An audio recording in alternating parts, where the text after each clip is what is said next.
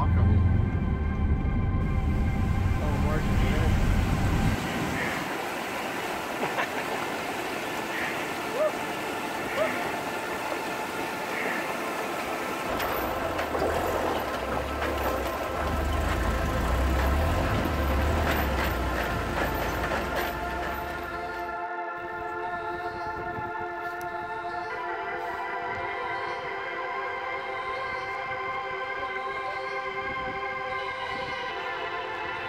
lots of fog.